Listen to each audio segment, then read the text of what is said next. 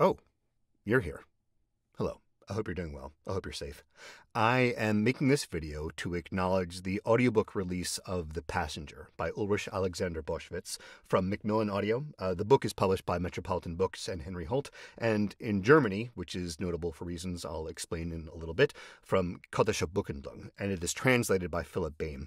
Uh, I wanted to make a video to kind of lay out some of the things about this book that are rather unique uh, in terms of its its writer's history, its publication history, uh, and uh, and I want to read a little bit of it uh, for you as well, so that you can get a sense of what it is about this particular book that um, I feel very fortunate to have the opportunity uh, to have narrated. So thanks to Macmillan Audio and Steve Wagner for that in particular, and for, and to Philip Boehm. Um, uh, so this book was written about 80 years ago and um, for a while it was considered sort of a, a, lost novel. And then in 2019 it was published again, and then has found its way to audio. Um, but to get kind of deeper into that, um, uh, Ulrich Alexander Boschwitz was born in 1915 in Germany, um, and he lived in Berlin up until 1933, until the Nuremberg laws were passed. And uh, he and his mother, uh, owing to their Jewish heritage, um, were fortunate enough to be able to leave Germany at that time, which was rather difficult for a lot of people to do, as this kind of comes the, sort of basically the topic of this book. Um, he was able to leave and move to Sweden, where he wrote his first book at the age of 21, uh, and which apparently did pretty well. Um, then in 1938, um, in Germany, there was the event uh, known as Kristallnacht, which we now know is was was based out of a fabricated incident regarding a German diplomat being assassinated by a Polish Jew. Um, in Germany in 38, um, SA troops and other irregulars um, burned synagogues, destroyed Jewish businesses. Jews were beaten, arrested, and worse. Uh, and this event had a profound effect on Boschwitz. And uh, right after that, in four weeks, he wrote what would become The Passenger, sort of an explosion of writing. Um, at the time, he'd been living in Sweden, but moving around to other different European countries. He lived in Paris for a while, and um, eventually actually found his way to the UK, where he lived for a, a good amount of time in, a, in sort of an internment camp for German refugees uh, the, on the Isle of Man. And when he was there, he was able to get this book published um, in the UK under the title of The Man Who Took Trains, um, and actually in the US uh, under the title The Fugitive. Um, from there, his history gets even more unfortunate. Um, still considered a prisoner of war um, in, from this internment camp, um, he was sent to Australia aboard a ship called the Dunera, which is a whole other history in of itself. If you want to look up the Dunera Boys, um, it was a it was a boat packed with German refugees, both Nazi sympathizers and Jews, horrible conditions, atrocities performed by the Brits who sent them there. Uh, and then that took them to Australia for a few years um, in another kind of prison camp environment. So while he was there, he was able to do some significant revisions on this book. And his mother, who was still in the UK, um, he sent um, his, his mother, Marta, um, a letter saying that he had done revisions to the first 109 pages. He was sending them with another prisoner on a different boat just in case, foreshadowing, um, tragically. And uh, but that when she got those notes, she should take them to someone literary, someone who would knew what to do with them. It said it needed an editorial pass, but they, he he felt the book had a lot of potential. Um, so, unfortunately, uh, on another boat returning to the UK, the MV Abosso, um, on October 29th, 1942, when Boschwitz was 27 years old, that ship was torpedoed by U 575, and he and 361 other people on board were unfortunately killed. So, um, and to boot, the pages never made it to his mother. So, um, those printings of the book in the UK and the US, not in Germany, he wanted it, there were attempts to have it published in Germany um, for obvious reasons that didn't happen in the short run, and then after that hadn't hadn't happened in the long run. Um, skip ahead to 2015. Um, the editor of this particular edition, Peter Graf, who um, had done this before, he had taken lost novels and edited them and put them back out. Um, Peter Graf was approached by uh, Reuella Shachaf, who actually is Boschwitz's niece. Um, his sister, um, before the Nuremberg laws were passed, actually um, left left Germany went to Palestine and lived on a kibbutz there. So um, Reuella Shachaf approached Peter Graf and said, "I have we found the original manuscript of Der Reisende, which means the the, the traveler, um, uh, in a in a family attic in Frankfurt." And would you be interested in reviving this particular book as well too?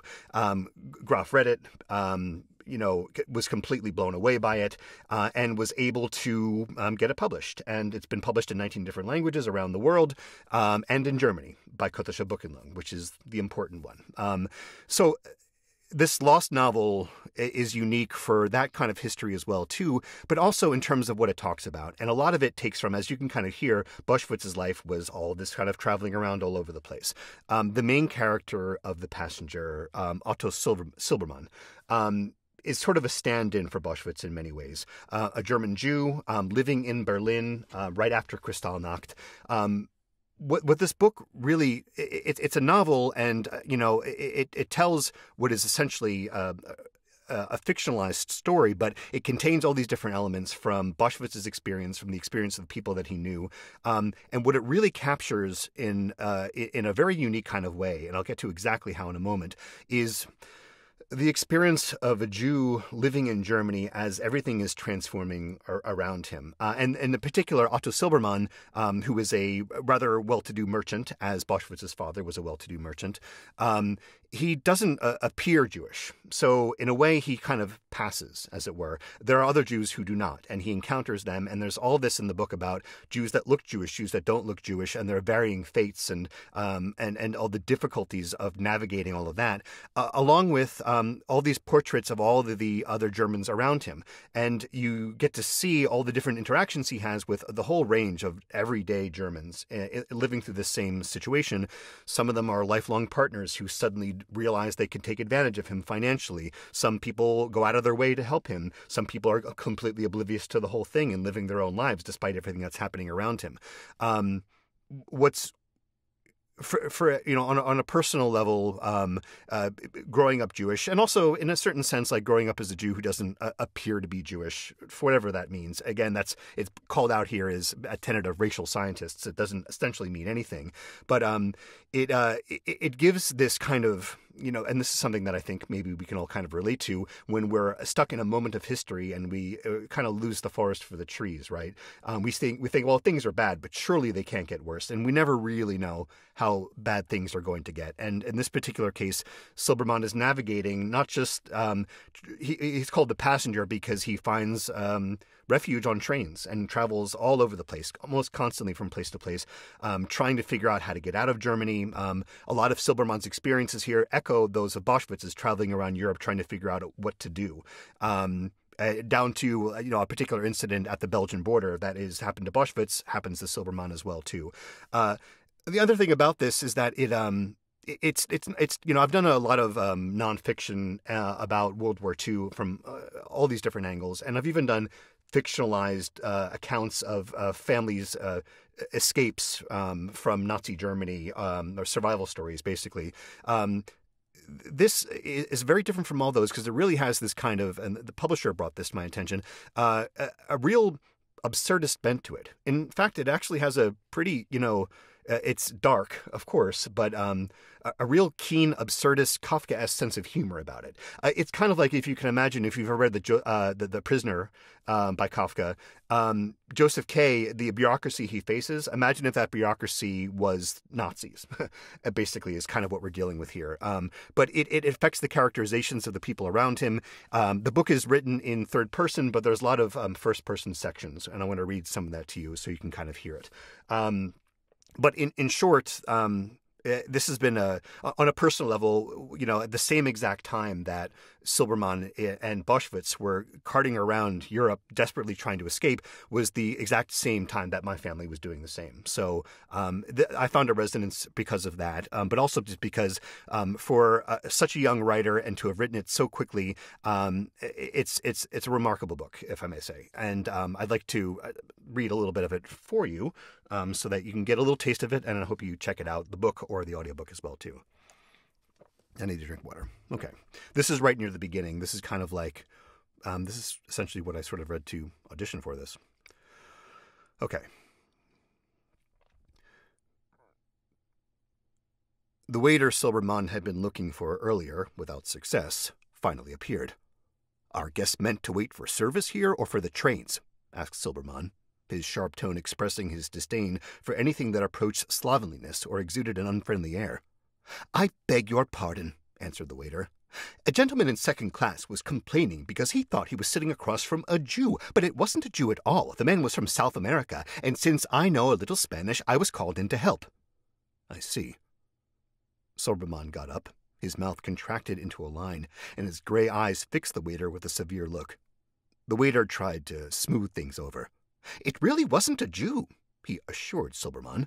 Evidently, the waiter considered his guest to be a particularly staunch member of the party. I'm not interested in that. Has the train for Hamburg already left? The waiter glanced at the clock above the exit to the platforms. Seven thirty, he thought out loud. The train for Magdeburg is just leaving. Hamburg leaves at seven twenty-four. If you hurry, you can still make it.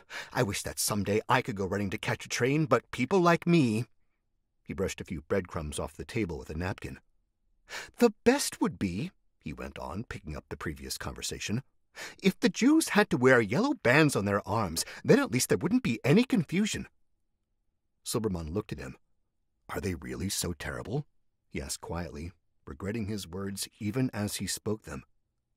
The waiter looked at Silbermann as though he hadn't understood him right. He was clearly surprised, but also unsuspecting, since Silbermann had none of the features that marked him as a Jew, according to the tenets of the racial scientists. The whole thing has nothing to do with me, the man said at last, carefully. Still, it would be good for the others. My brother in law, for example, looks a little Jewish, but of course he's an Aryan. It's only that he has to constantly explain and prove everything over and over. That's too much to ask of anyone. Yes, it is, Silbermann agreed. Then he paid his tab and left. Unbelievable, he thought. Absolutely unbelievable. After leaving the train station, he climbed into a taxi and headed home. The streets were full of people, many in uniform. Newsboys were hawking their papers, and Silbermann had the impression they were doing a brisk business. For a moment, he considered buying one for himself, but then decided against it, since he figured the news was bound to be bad, and almost certainly hostile, at least as far as he was concerned. He would undoubtedly be experiencing it all firsthand soon enough. After a short ride, the taxi pulled up in front of his building. Frau Friedrich, the wife of the concierge, was lingering in the stairwell.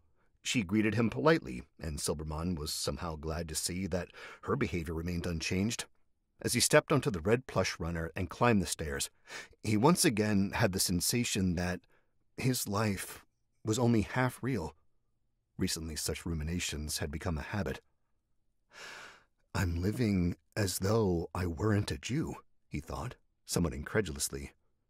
For the time being, I'm simply a well to do citizen, under threat, it's true, but as of yet unscathed.